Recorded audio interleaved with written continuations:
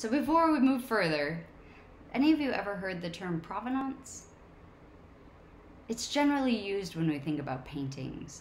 Provenance means the origin or the background of, and it's a very specific time of, type of origin or background. It's not biological, it is more about design influence and ownership conjoined in one.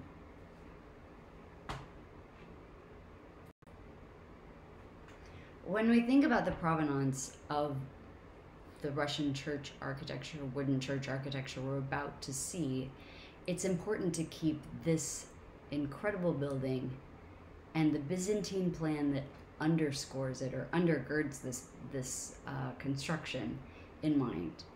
I'll show you exactly why, but it's not always intuitive that uh, the Islamic architecture of the Middle East played such a direct role in this northern wooden series of Orthodox Christian churches of around 1000 CE in Russia.